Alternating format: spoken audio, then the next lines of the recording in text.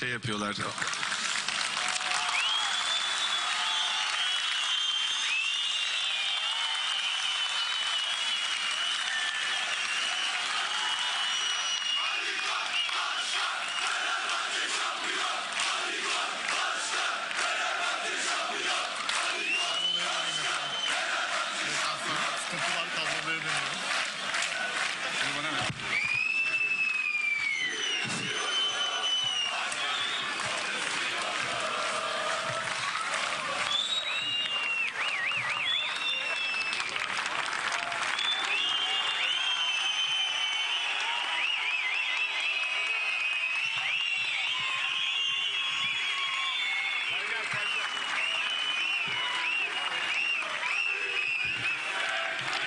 Ben de İzmir'i seviyorum.